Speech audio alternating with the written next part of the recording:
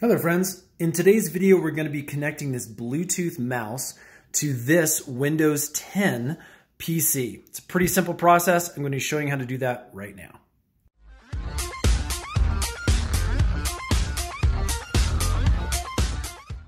All right, in order to connect our Bluetooth enabled mouse, and as you can see, I'm actually using a Mac Mighty Mouse. Now, again, I know PC and Mac don't like to play, but this is gonna be a very, very similar process for any mouse that's Bluetooth enabled. So what we first need to do is make sure the mouse is on and in the pairing mode. Now for this specific mouse, I just need to power it on. And as you can see, there's gonna be a blinking light that starts blinking, and that indicates it's in the pairing mode. So again, make sure your mouse is in the pairing mode. Next, we're going to come over here to our Windows 10 laptop.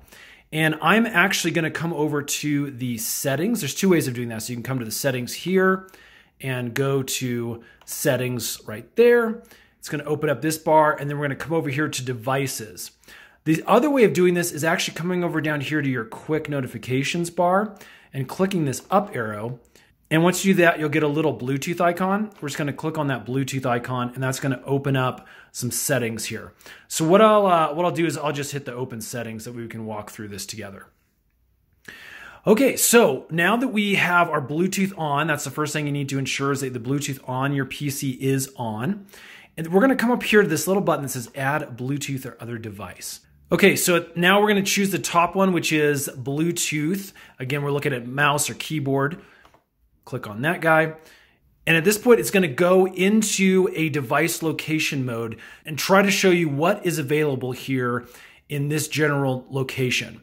Now, as you can see, after a moment, it actually did find my Mighty Mouse option. So I'm going to go ahead and click on that, and it's going to go into the connection function.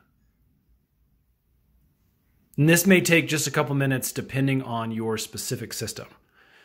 All right, as you can see, the mouse is now ready to go. And I'm gonna click the done button.